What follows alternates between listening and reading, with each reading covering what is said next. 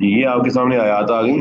तो अल्लाह ताला ने ज़िक्र किया, पिछली आयात में जो ज़िक्र हुआ था, ये सारा आप देख सकते हैं कि अल्लाह ताला कई मशरक भी अल्लाह का है, मगरब भी अल्लाह का है। जहाँ भी तुम करो तो अल्लाह ताला का आप चेहरा पाओगे, अल्लाह ताला वहाँ तुम्हारी नमाज़ को कबूल कर लेगा। फिर बाद लोगों ने कहा कि अल्लाह ताला ने बेटे बना लिया है, औलाद बना ली है तो अल्लाह ताला वो तो पाक है।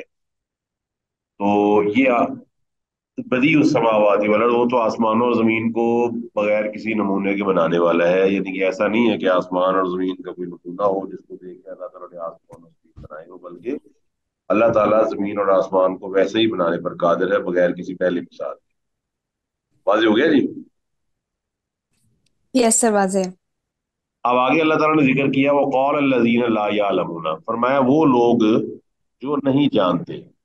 अब आपको मालूम है कि एक चीज़ का जब मतलब जो चीज़ है उसका वजूद साबित हो जाता है किसी वजह से तो उसके खालिक का भी साबित हो जाना चाहिए। मिसाल के तौर पर आप देखते हैं कि एक आदमी पैदा होता है, फिर वो आदमी बड़ा होता है, फिर वो आदमी मर जाता है। तो ये तमाम चीज़ें किस चीज़ को ज़ाहिर करती हैं कि कोई ना कोई है जो इसको पैदा करने वाला बड़ा करने वाला फिर मारने वाला है। दुरुस्त है कि नहीं जी? दुरुस्त है सर आप अपना खाना पकाते हैं खाना पका हुआ मेरे सामने रखा हो और कोई आदमी बाहर से आए तो यकीन उसके जहन में सारी चीज़ें आ जाएँगी किसी ना किसी ने इसको पकाया है और उसके बाद इसके अंदर इसको कंपोजिशन से बनाई। अच्छा दूसरे नंबर पर यह है कि आपको पता है बात चीज़ें सिर्फ़ एक ही हुआ करती है। अगर किसी मुल्क को चलाना हो तो एक ही वज़ीर आज़म होगा। और अगर किसी गाड़ी को ड्राइव करना हो तो कितने ड्राइवर होने चाहिए? एक ही होना चाहिए। एक ही होना चाहिए। अगर सारी सवारियाँ जो है वो मुतालबा कर दें बल्कि लड़ाई शुरू कर दें कि हमने सबने ड्राइवर बनना है तो क्या बनेगा गाड़ी का? गाड़ी कभी नहीं चल पाएगी। गाड़ी नहीं चल पाएगी। अच्छा यहाँ अल्लाह ने ज़िक्र किया ला यालम होना तो ला यालम होना पे आप गौर करें अगर इलम ना ना हो आदमी को तो आदमी फिर बेवकूफियाँ करता है। साफ़ जरा इल्म जो नहीं है। अगर मुझे डॉक्टरी का इलम नहीं है तो मैं बेवकूफ़ी करूँगा।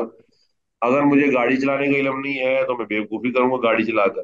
तो ला इल्मी जो है ना वो बाद आदमी को बेवकूफियों पर मजबूर कर देती है। एग्री जी?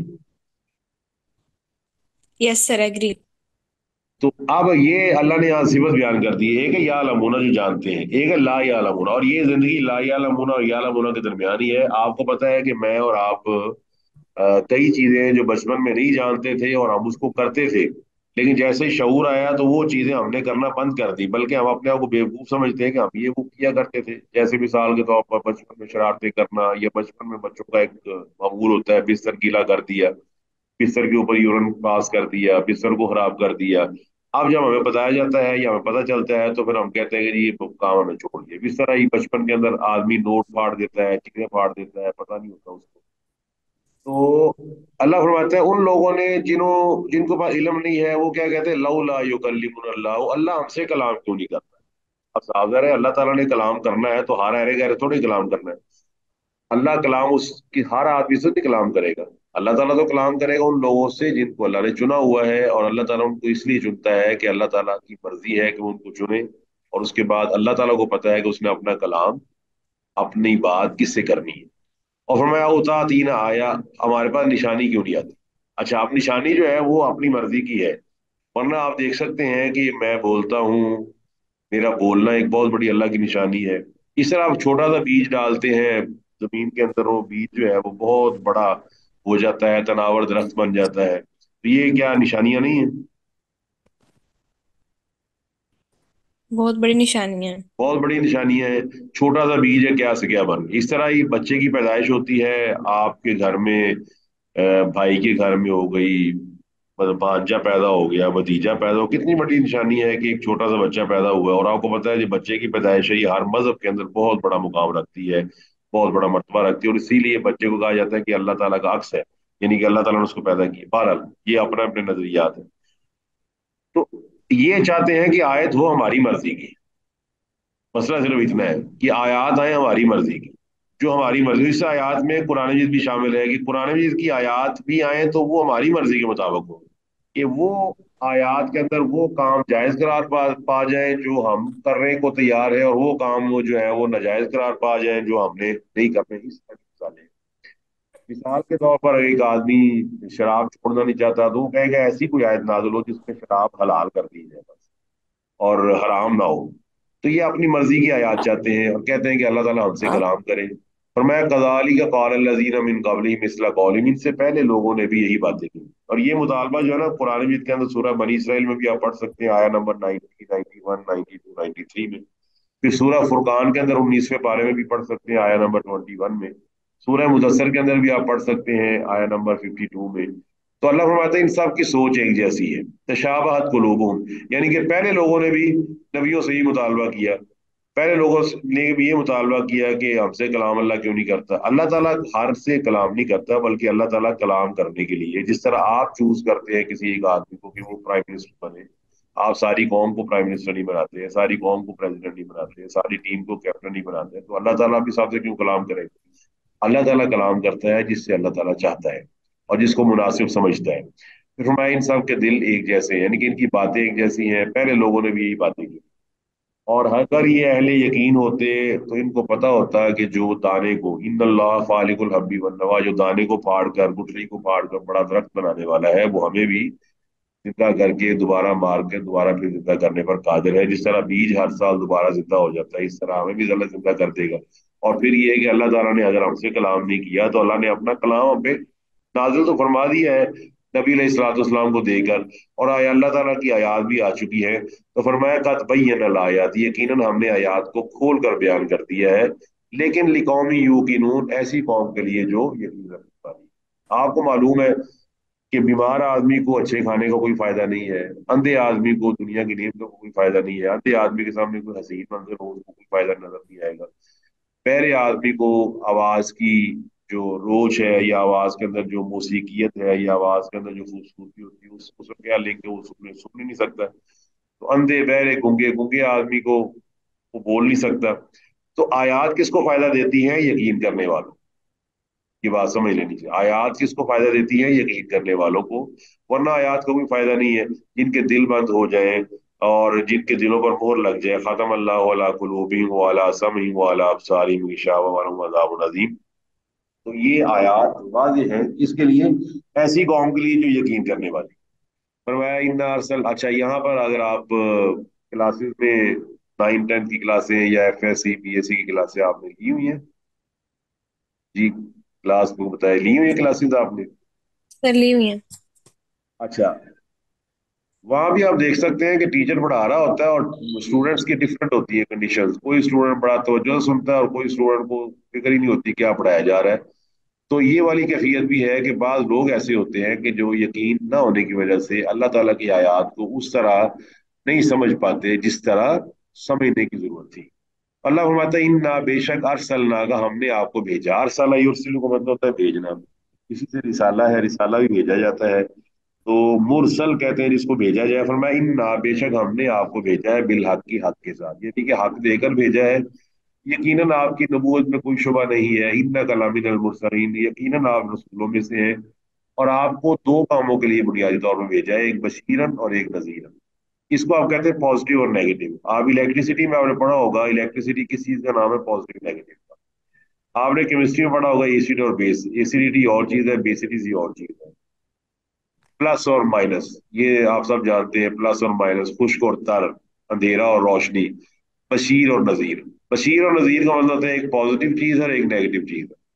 एक तरफ़ वार्निंग्स है और एक तरफ़ प्राइजेस है। और आप बताइए क्या पूरी दुनिया में जितनी भी रियासतें हैं वो इन दोनों पे चलती हैं कि नहीं? कि बाद लोगों को वार्निंग देकर वो जेल में डालती हैं और बाद लोगों को प्राइज देकर वो पोडियम पे लाकर अव्वल दो सोम, फ़र्स्ट सेकंड थर्ड के इनाम देती है। ऐसे ही है जी? ऐसा ही है सर अल्लाह के नबी इस्लाम बशीर हैं किसके लिए?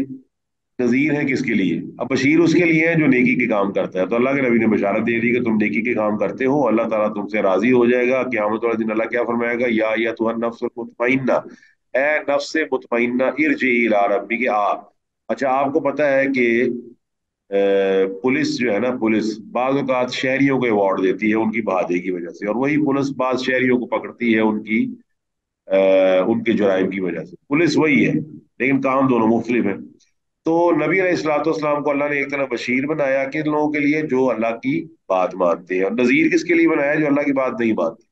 तो अल्लाह ताला की बात मानने वाले के लिए खुशखबरी है, अल्लाह उससे राज़ी है, और अल्लाह ताला के नबी अलैहिस्सलाम की बात ना मानने वाले के लिए वईद है कि अल्लाह उससे नाराज़ है।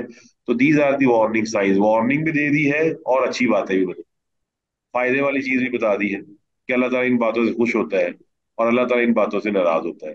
फरमाया, वला तुसलु अगर आप इनको समझाते हैं तो वला तुसलु, आप सवाल नहीं किए जाएँगे। यानी कि अल्लाह के नबी से सवाल नहीं किया जाएगा ना साबिल जहीम, जहन्नम वालों के बारे में। कि जहन्नम वाले जहन्नम में क्यों चले गए? क्योंकि साफ़ ज़ाहिर जहन्नम वालों ने जहन्नम को खुद इख्तियार किया है। अल्लाह ताला के नबी अलैहिस्सलाम ने तो फरमाया हुआ है कि, मन अतवानी फदाखल जन्ना वमन असानी फ़कत अबा जिसने मेरी इतात और फर्मा बरदारी की, वो जन्नत में दाखिल हो गया। जिसने मेरी नाफरमानी की, उसने जन्नत में जाने से इनकार कर दिया। इसका मतलब है, असाबुल जहीम जहन्नम वाले किस लिए बने हैं? वो इसलिए बने कि उन्होंने जानबूझ कर ऐसे अमाल किए जो उनको जहन्नम में नहीं तो अल्लाह के नबी अलैहिस्सलाम बशीर भी है और नजीर भी है। और एक ही चीज़ का तो दोनों सिफतें मौजूद हैं और ये हमारी ज़िंदगी का हिस्सा है। आप तमाम लोग एग्री करेंगे कि बाप या मालिक या किसी फर्म का जो मतलब मालिक है वो एट ए टाइम गलत काम करने वाले को पता क्या कह रहा होता है इसको स्ट्रक ऑफ़ कर दे निकाल दे इसको बाहर फर्म से निकाल दे बाहर इसको मैं इसकी शक्ल ना देखो। और उसी टाइम उस आदमी को लाखों रुपया दे रहा होता है जो आदमी उसके साथ इंतहाई सिंसियरिटी से काम करता है। एग्री जी? यस सर एग्री इब्राहिम अलैहिस्सलाम की कौम की तरह ना फरिश्ते आए फरिश्ते वही थे। और आप अपने चेहरे पर मुस्कुराहट देखें और अपने चेहरे का गुस्सा देखें तो आपको अंदाज़ा हो जाएगा एट ए टाइम आपके चेहरे पर मुस्कुराहट आ जाती है उस आदमी को देखकर जिससे आपको लगाव है या जो आपके साथ संसियर है। और उसी, और एट ए टाइम उसी टाइम आप उस आदमी के लिए इंतहाई गुस्से में होते हैं जो आदमी आपको तंग करने वाला है। अच्छा इब्राहिम इस्लाम के साथ फरिश्ते आए। इब्राहिम इस्लाम हैरान हो गए, फरिश्ते आए हैं, कौन से हैं? खैर, वो समझे कि शायद कोई लड़के मतलब आप, ये आम बशर आए हैं। उन्होंने उनके लिए खाना पकाया, बड़ा गोश्त, और वो बड़ा गोश्त जो है ना, कुरान के अल्फाज के मुताबिक हनीज इन, यानी कि भुना हुआ गोश्त है, जिसके अंदर पानी नहीं था खुश जिसे आप कढ़ाई गोश्त कहते हैं, और रख दिया, उन्होंने नहीं खाया। तो वो जो फरिश्ते गौर करें, वो फरिश्ते जो है ना, सूरह अब हिजर में पढ़ सकते हैं, सूरह अपना जो है, जारियात में आप पढ़ सकते हैं, वाक्य, सूरह हूद के अंदर भी वाक्य मौजूद है ये। तो वो फरिश्ते ना कहने लगे कि हम आपको ना बशारत देने के लिए आए अच्छा जी क्या बशारत है? अल्लाह ताला आपको बेटा देगा। अच्छा वो जो है ना आपकी जो बीवी है वो दूर खड़ी सुन रही थी उसने हमारा सर पे हाथ के है मैं बूढ़ी औरत मुझे बच्चा देगा तो अल्लाह ताला के फरिश्तों ने फरमाया कि अल्लाह की मर्ज़ी देगा बच्चा। ये क्या है बताइए? बच्चे का न्यूज़ ये बच्चे की न्यूज़ दी जा रही है इब्राहिम अलैहिस्सलाम को इसको आप क्या कहेंगे? अच्छी न्यूज़ है कि बुरी? बशारत बशारत। बशारत है। किसने दी है? अल्लाह ताला ने फरिश्तों के ज़रिए भेजी फरिश्तों ने दी है अच्छा वही फरिश्ते थोड़ी देर बाद क्या कहने लगे? इन्ना उरसिलना इला कौमी लूत। आज हमें अल्लाह ने बस्ती लूत की तरफ़ भेजा और आज उनका नामो निशान मिट जाएगा। अब ये क्या चीज़ है? ये कौन सी न्यूज़ है? ये नजीर है डराना। हाँ ये डराना है। एट ए टाइम तो युजादिलुना फ़ी कौमी लूत इब्राहिम इस्लाम ना फ़ौरन लड़ने लग पड़े। लड़ने से मुराद अल्लाह से ना उन्होंने जुदान शुरू कर दिया कि यार तुम्हारी मेहरबानी ना मारो। तो अल्लाह ताला फरमाता है नहीं उनका काम इस तरह का है कि उनकी ना आज खात्मा कर दिया जाएगा। तो फरिश्ते देखिए वही है लेकिन कैफियात मुख्तलिफ़ है। नबी इस्लाम बशीर है उनके लिए जो अल्लाह उनकी बात मानने वाले हैं नजीर है जो बात नहीं मानने वाले। वाजे होगी बात जी सबको? यस सर अच्छा इसी को आप देखते हैं फ़िज़िकल रूल के तहत भी हम समझते हैं। फ़िज़िकल रूल के तहत क्या है? आपके घर में इस वक्त बिजली आ रही है। ये बिजली आपके लिए बशीर है अगर आप इसको अच्छा यूज़ करें और नजीर है अगर आप इसको बुरा यूज़ करें। क्या ख्याल है? जी ऐसा ही है। अगर आप इसकी तारों को यूज़ करके मेरे साथ कनेक्टेड हैं और आप मेरा लेक्चर सुन रहे हैं और आप तक आवाज़ पहुँच रही है तो ये एक बशारत है कि आप कुरान सुन रहे हैं। लेकिन अगर आप बिजली की तार को नंगा करके उसको हाथ में पकड़ के कहें कि मैं एंजॉय करूँ कैसा एंजॉयमेंट होगा जी वो? वो ऊपर पहुँचने वाला। वो तो मौत तक पहुँचने वाला कि आपने खुद इख्तियार किया है। तो आपको पता है, एक ही चीज़ में दोनों कैफियात मौजूद है। वो बशीर भी है, वो नजीर भी है। तो फरमाया, वलन तरजा अनकल यहूद वलन नसारा। आपसे हर किस राज़ी नहीं होंगे यहूद व नसारा। अब जो मर्ज़ी क्या कर ले, हत्ता तत्तबिया मिल्लत तो हम यहाँ तक कि आप उनके दीन की पैरवी करें। यानी कि दीन की पैरवी। और आपको पता है, यही वो कलमा है जो फ़र्क डालने वाला है। यहूद नसारा की मिल्लत आपको पता है, इस वक्त पूरी दुनिया के सामने वाज तौर पर मौजूद है। उनकी मिल्लत क्या है? और उनकी पहले से मिलत क्या है? किस तरह उन्होंने खास तौर पर यहूदियों ने अम्बिया को कत्ल किया रसूलों को नुकसान पहुँचाया अलैहिस्सलाम नसारा ने उनकी तकलीद की और नसारा जो है आप, आप आज भी आपको पता है नसारा जो है वो यहूद के नक्शे कदम पे चल रहे हैं। आगे उन्होंने ईसाइयों को किया हुआ पीछे वो सारा एक लश्कर है यहूदियों का जो चंद लाख के करीब है। उन्होंने अमेरिका को बरतानिया को सारे ईसाइयों को अपना गुलाम बनाया। तो अल्लाह ये आपसे हरगिज राज़ी नहीं होंगे। यहाँ तक कि आप इनके मज़हब की पैरवी करें, इनके दीन की पैरवी करें। और कुल इन्ना हुदल्लाहि वल हुदा। बेशक अल्लाह ताला की हिदायत ही असल हिदायत है। यानी कि अल्लाह ताला की जो हिदायत है, जो अल्लाह ताला की रोशनी है, जो अल्लाह ताला ने दी है, वही असल हिदायत है। और अल्लाह वहदहु ला शरीक की हिदायत कौन सी हिदायत है, जो अल्लाह ताला ने अपनी तरफ़ नाज़िल फरमाई और फरमाया, फइम्मा याति अन्नकुम मिन्नी हुदन। एक तरफ़ याद रखिए खुदा है और एक तरफ़ हवा है। खुदा कहते हैं, हिदायत को हवा कहते हैं, अपने दिल की बातें, नफ्स की बातें, उनको हवा कहा जाता है। और जो हवा की पैरवी करता है, जो हवा की व तब शहवाज शहवाज की पैरवी करता है, फसाओ पैल कौन गैया तो जहनम के अंदर दाखिल हो जाएगा। आफर आई तमन तहद इलाह, हवा जो अपने हवा को, अपनी ख्वाहिश नफ्स को अपना इलाह बना ले, वो जन्नत में जा, दाखिल हो जाएगा जन्नत में जा ही नहीं सकता। तो फरमाया, अल्लाह ताला की हिदायत असल हिदायत है, जिसके मुताबिक आपने चलना है। और ये हिदायत जो है ये बिल्कुल वैसे फ़िज़िकल रूल है जिस तरह हमने खुद बनाए हुए हैं। आप देखिए जहर के बारे में क्या रूल है पूरी दुनिया के अंदर? ये जहर क्या करता है? जान ले लेते हैं इंसान की। जान ले लेता है। तेजाब के बारे में जो बहुत स्ट्रॉन्ग तेजाब है उसके बारे में क्या रूल है पूरी दुनिया में? वो भी जान ले लेता है। जान ले लेता है। इसी तरह आप देखते हैं कि बुलंदी 400 500 फुट से अगर आदमी छलांग लगा रहे तो क्या रूल है पूरी दुनिया वो भी जान से जाता है। जान से जाता है। तो अल्लाह ताला की हिदायत हिदायत ही है। इसका मतलब है कि जो आदमी अल्लाह की हिदायत के मुताबिक चलता है तो अल्लाह ताला की हिदायत के मुताबिक चलने में आती है। और उसने हर शख्स की हिदायत जो है ना, वो डिफरेंट तरीके से फिजिकली रखी है। फॉर एग्ज़ाम्पल आप यूँ समझें कि अगर आप, किसी मछली को, अगर आप इस वक्त एसी वाले कमरे में बैठी हुई हैं सारे, और आप बड़े प्लेजेंट फील कर रहे हैं कि जी एसी चल रहा है ट्वेंटी थर्टी ग्रेड है, बेहतरीन दर्जा हरारत है, सामने आपने खाने पीने की चीज़ें रखी हुई है आप लेक्चर भी सुन रहे हैं खा भी रहे हैं और आपको बड़ा एंजॉय हो रहा है। तो ऐसी कैफियत के अंदर अगर आप अपने घर के अंदर अ, पानी के अंदर मौजूद मछली को वहाँ से निकालें पानी से और उसको अपने साथ बिठा लें लेक्चर के लिए या अपने साथ बिठा लें और आप कहें जिस तरह मैं एंजॉय कर रही हूँ ये मछली मैं पानी से निकाल कर अपने साथ बिठा लेती हूँ ताकि ये भी एंजॉय करे। बताइए क्या फ़र्क आएगा? वो मर जाएगी। आप इसको एक्सप्लेन करें आप। माशाल्लाह आप जवाब दे रहे हैं। मर क्यों जाएगी? आप तो बहुत एंजॉय कर रहे हैं तो वो क्यों मर जाएगी। क्योंकि उसके और मेरे हालात डिफरेंट हैं। मेरे लिए एंजॉयमेंट कुछ और है उसके लिए एंजॉयमेंट कुछ और है। बिल्कुल। अच्छा अब ये मेरे लिए एंजॉयमेंट कुछ और इसको सारे ही एक्सेप्ट करते हैं। सारे अंग्रेज़ सिख ईसाई यहूदी सबके घरों में मछलियाँ एक्वेरियम में होती है। एक्यो का मतलब होता है पानी। तो एक्वस पानी वाले सॉल्यूशन को कहा जाता है। तो एक्वा में डाल के आप मछली को कहते हैं कि यहाँ मछली खुश है। तो इसलिए कि अल्लाह ताला ने उसकी हिदायत वहीं रखी है उसको फिजिकली हिदायत वहीं पे है वो वहीं पर खुश रहेगी वहीं पे ज़िंदा होगी वहीं पे प्रॉस्पर होगी वहीं पर बड़ी हो जाएगी वहीं पे शार्क बन जाएगी वहीं पर वो बड़ी बड़ी ट्यूना मछली बन जाएगी और बड़ी बड़ी मछली में कन्वर्ट हो जाएगी। देख सकते हैं आप आप एग्री करते हैं इस चीज़ से? यस सर एग्री तो अब आप यहाँ पे एक असूल समझे कि अल्लाह ने मर्द को बनाया औरत को बनाया। तो जिस तरह ये चीज़ें फिजिकली डिफरेंट है तो क्या आप समझते हैं कि औरत और मर्द का भी फ़िज़िकल डिफरेंस है? यस सर दोनों बायोलॉजिकल और फ़िज़िकल डिफरेंट है। फ़िज़िकल डिफरेंस तो लिहाजा मर्दों को भी जिद नहीं करनी चाहिए कि वो औरतें बनना शुरू हो जाए और औरतों को भी जिद नहीं करनी की चाहिए कि वो मर्द बनना शुरू हो जाए क्योंकि अल्लाह ताला ने दोनों की आफियत डिफरेंट जगह पे रखी हुई कि हमें अब अक्सर लोगों को ये समझ नहीं आती। तो अल्लाह ताला फरमाता है वाला इन तबादा हवा हो अगर आप इनकी हवा की पैरवी करेंगे, इनकी जो अकली दलाइल की पैरवी करेंगे तो बाद अल्लाह जी उस चीज़ के आ जाने के बाद बिनल इल्म भी जो आपके पास इल्म आ गया है। अल्लाह ताला ने इल्म दे दिया है। एक है खुदा और एक है हवा। ये जिन ये आवाज़ आ रही थी नजीहा हाशमी का खुला हुआ है स्पीकर। नजीहा हाशमी, प्लीज़ अपना बंद कर ले माइक्रोफोन। नजीहा हाशमी जी। बच्चे की आवाज़ आ रही है आपकी काइंडली मत। अच्छा आप क्या बात हो रही थी कि अल्लाह ताला ने एक तरफ़ हिदायत है और एक तरफ़ हवा। हवा का मतलब होता है लोगों की अकल की बातें। अकल आप दो बंदों की एक जैसी नहीं है। तो साफ़ ज़ाहिर है कि आप परेशान रहेंगे। जब आप अकल की मानेंगे तो आप परेशान रहेंगे। जब हदायत की मानेंगे तो हदायत के अंदर शुबा ही कोई नहीं है। क्योंकि तो अल्लाह ताला की तरफ़ से आई हुई है।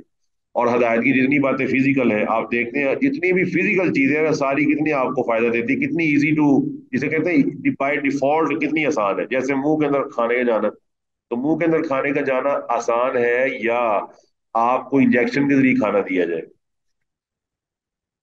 मुँह के ज़रिए खाना आसान है। इसी तरह आप देखें डायलिसिस डायलिसिस के ज़रिए पानी को जिसम से निकालना इजी है या वो गुर्दों के ज़रिए निकाला जाए तो ज़्यादा इजी गुर्दों के ज़रिए निकाला जाता है तो बिल्कुल ऐसे ही है कि एक तरफ़ हवा है, हवा क्या होती है मुख्तलिफ़ अकलें चल रही है और अपनी मर्ज़ी कर रही है। और एक तरफ़ खुदा है कि अल्लाह ने जो चीज़ इसके लिए बनाई, अगर हम उसकी पैरवी करते रहें तो हम बिल्कुल सीधे रास्ते पर रहेंगे। लेकिन अगर हम हवा की पैरवी करेंगे, हवा की जमा होती अहवा। अहवा का मतलब होता है लोगों के दिल की बातें, जो उनके दिल, उनका नफ्स उनको सुझाता है, शैतान उनको वर्गलाता है। तो फरमाया माल वली वला नसीर तो अल्लाह ताला के अलावा तुम्हारा कोई मददगार नहीं होगा, कोई वली नहीं होगा। यानी कि फिर तुम्हें अल्लाह से आगे तौबा ही करनी पड़ेगी। जब तक तोबा नहीं करोगे तो गुमराह रहोगे। जब गुमराह रहोगे तो जहन्नम में चले जाओगे और जहन्नम से बचाने वाला अल्लाह के सिवा कोई नहीं होगा। जब भी कोई आदमी गुमराह हो, उसके लिए एक ही रास्ता है कि वो गुमराही छोड़कर अल्लाह ताला के रास्ते पर आ जाए। अल्लाह ताला उसकी पिछली गुनाही भी, गुमराही भी अल्लाह ताला माफ़ फरमा देगा। फरमाया अल्लाजीना आतईनाहुमुल किताबा वो लोग जिनको हमने किताब अदा की। यत यतलूना हो वो उसकी तिलावत करते हक का तिलावत ही जिस तरह तिलावत करने का हक है। अब यहाँ तिलावत का समझ ले तिलावत कहते हैं? तालावा ताला यतलू आगे पीछे आना। तो आपको पता है जब आप चलती हैं या चलते हैं तो आपका साया आपके साथ होता है। ये कभी ऐसा हुआ कि आप लाहौर में हो साया आपका कराची में हो? ऐसा कभी नहीं होता। ऐसा कभी नहीं होता। अच्छा इसी तरह आप देखते हैं, अल्लाह ताला फरमाता है वशमसी वजुहाहा वल कमरी तलाहा. यानी कि सूरज का ज़िक्र करके अल्लाह फरमाता है, चाँद उसके पीछे पीछे आता है। तो तिलावत लफ्ज आपने सुना होता है recitation recite the holy Quran तो रेसिटेशन का मतलब होता है कि यतलूना तिलावत उनका मतलब होता है कि आप जो चीज़ पढ़ रहे हैं, उसका मीनिंग पीछे पीछे आता है। मसला आपने कहा अल्हम्दुलिल्लाह रब्बिल आलमीन। तो असल तिलावत जो तिलावत का हक है वो ये होगी कि आप अल्हम्दुलिल्लाह पढ़े तो साथ आपको इसका मीनिंग समझ आ रहा हो। समझ आ गई थी बात की? यस सर अब अगर मीनिंग समझ नहीं आ रहा इसमें कोई शक नहीं कि कुरान मजीद एक ऐसी किताब है जो मीनिंग ना भी आता हो तो उसमें शिफा अल्लाह ने रखी हुई लेकिन ये आपको तस्लीम करना पड़ेगा कि जो ग्रेडिंग है ना वो ग्रेडिंग जो है वो वाली नहीं बनती। जो ग्रेडिंग जैसे आप, आपने फिफ्थ क्लास पास की, आपको डॉक्टर नहीं उन्होंने रखा। आपने आठवीं पास कर ली, उन्होंने कहा, अभी भी रखा, आपको डॉक्टर नहीं रखना। आपने एफ़ ए कर लिया, तब भी आपको डॉक्टरी की जॉब नहीं मिली। आपने दो साल मेडिकल का इख्तियार किया प्रोफेशन तब भी नहीं मिली। आपने पाँच साल पढ़ा, तब भी नहीं मिली। आपने हाउस जॉब की, बड़ा कुछ करने के बाद फिर उन्होंने आपको ना डॉक्टर की जॉब दी है। बिल्कुल ऐसे ही एक है सिंपल तिलावत जिसे आप समझते हैं। वो तिलावत तिलावत नहीं बनती। तिलावत तब बनेगी जब उसके पीछे उसका मीनिंग आ रहा हो, कि जो आपने पढ़ा है, उसका मीनिंग पीछे पीछे चलता आ रहा है। जिस तरह सूरज के पीछे चाँद आता है, चाँद के पीछे फिर सूरज आ जाता है, सूरज के पीछे फिर चाँद आ जाता है।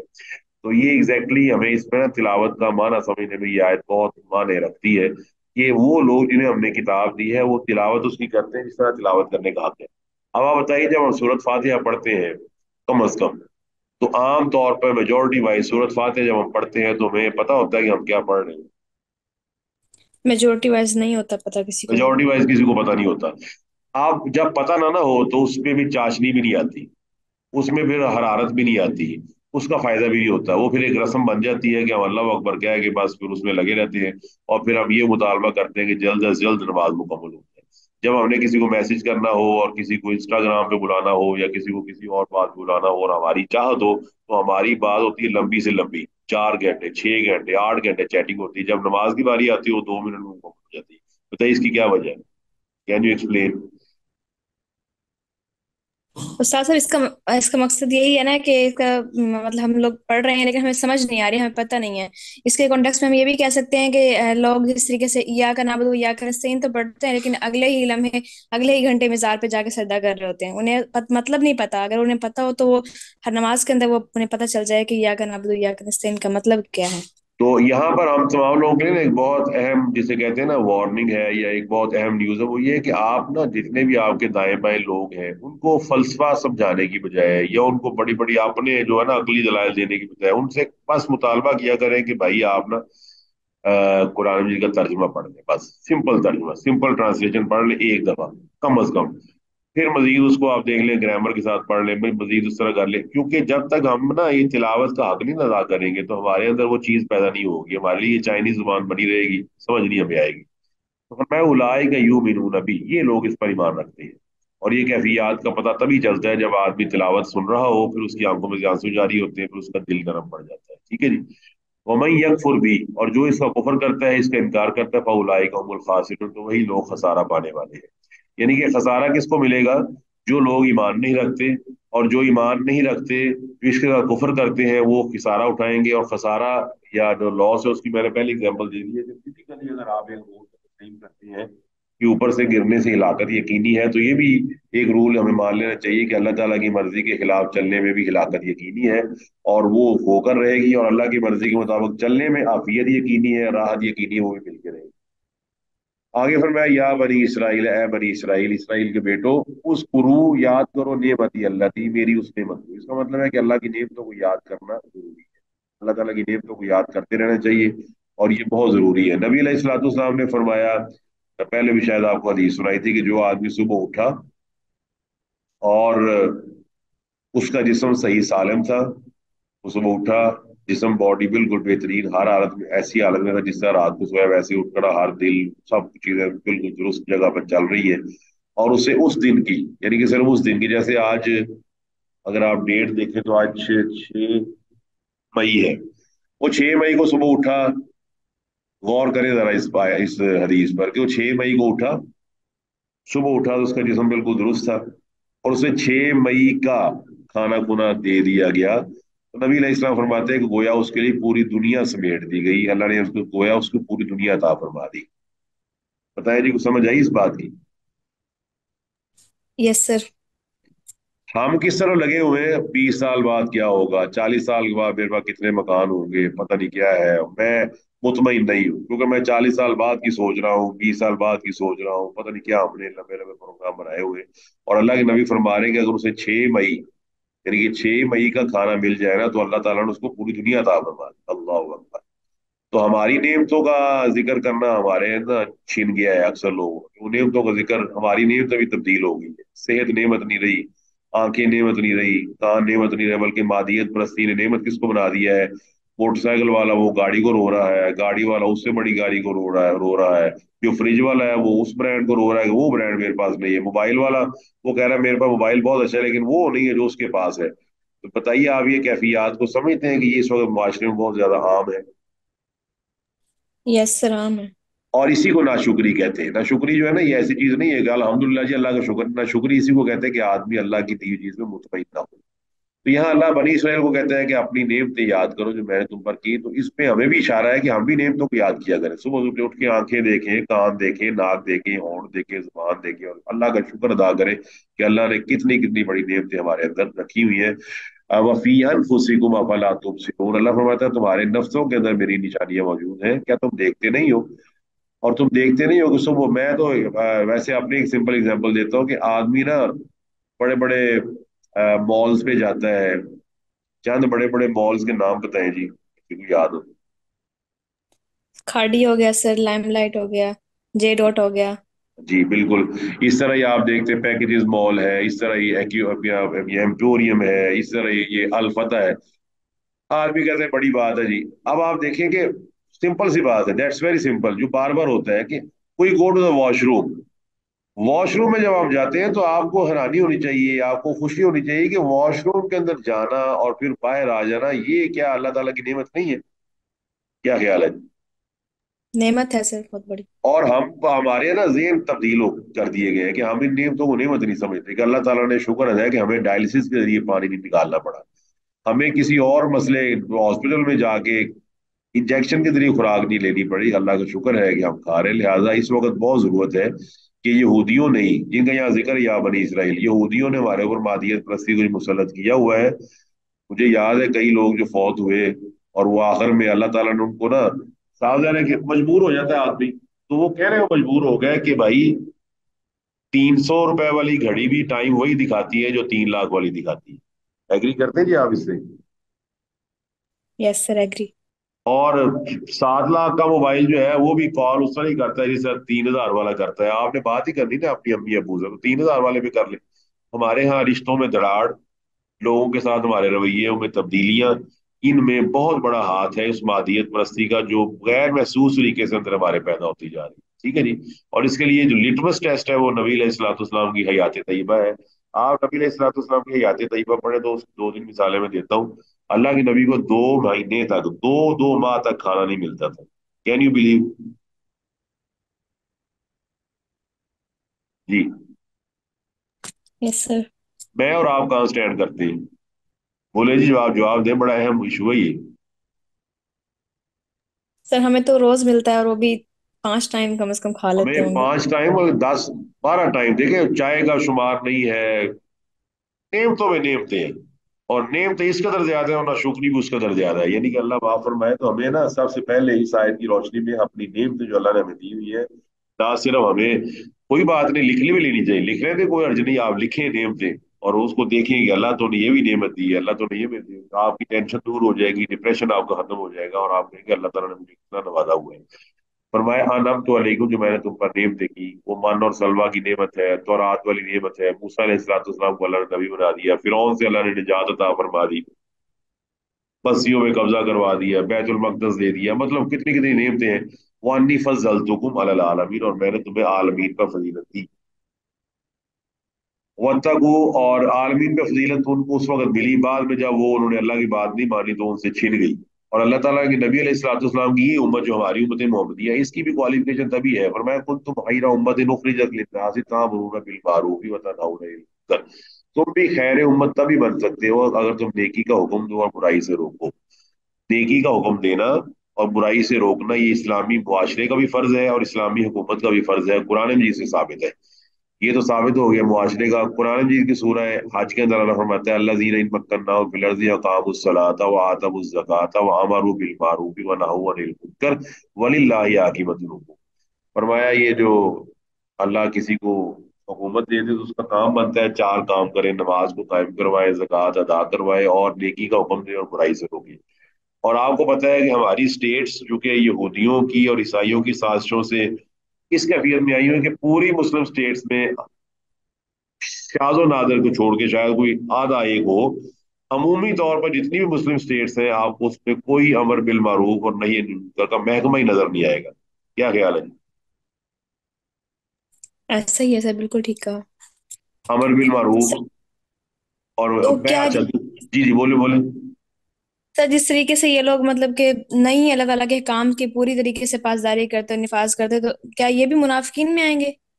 बिलाशुको जो मुनाफिकीन के अंदर ही आएँगे। वो सूरह निसा पढ़ लें आप आया नंबर एटी से ninety two ninety three ninety four. फिर सूरह मुनाफिक को नहीं पढ़ लें आप उन अट्ठाईसवें पारे में।